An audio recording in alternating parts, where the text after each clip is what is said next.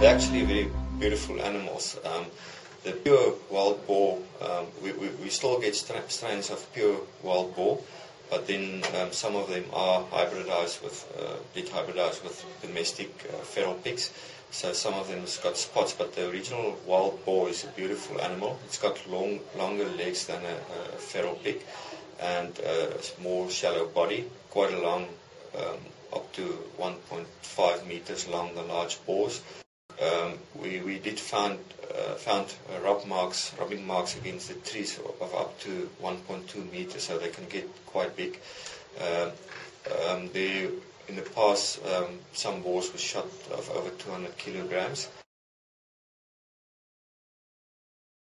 Forestry departments um, had problems with the, the pine moth that destroyed the, the pine trees in the plantations. And one of the phases is the pupae phase that, that is under the leaves of the, the pine trees. And these um, pigs were introduced from Europe to co- try and control the pupae phase um, um, and, and, and try and, and dig them out and, and destroy them. It was in the mid uh, 1930s. But, as sometimes happens when introducing foreign animals, the newcomers quickly became problem animals. Against expectation, the Obelix-like Eurasian boars left the plantations they were brought in to help with. Over the past 70 or 80 years, they've prospered and spread to critically endangered Renosterveld area. They also regularly cross swords with wine and wheat farmers in Franschhoek and around Wellington.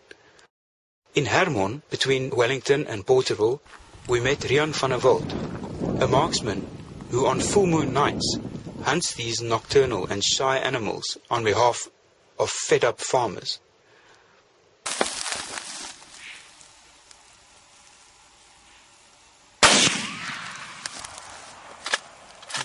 Where is the big pressure coming from to do something about these animals? Is it from a conservation point of view or from an agricultural point of view? I think both. Um, um, uh, from a conservation point of view, we, we were aware of these animals for, for quite some time.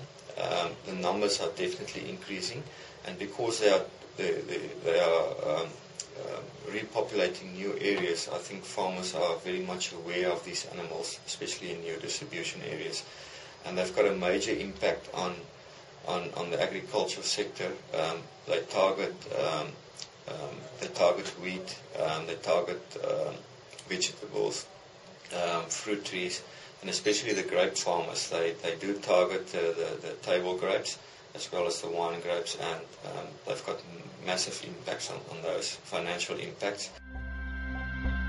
Cape Nature wants to, to introduce a total eradication plan to get rid of these animals. We can't afford uh, to, to have them in, in, in our sensitive areas and, and live. We can't live with the damage that they do to our natural environment. So we would like to totally eradicate them, um, but this will follow a, a public participation process.